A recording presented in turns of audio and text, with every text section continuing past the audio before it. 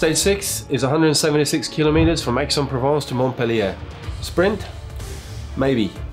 If the Mistral wind comes in here, you're likely to see a lot of crosswind action like we've seen in the past. This could catch out both the sprinters and the GC riders, so they're all going to have to pay attention here.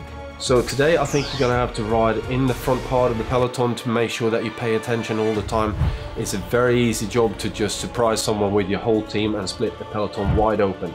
So this could be an interesting stage both for general classification and for the sprinters. Keep up to date with the Tour de France and cycling news and remember to subscribe to our YouTube channel.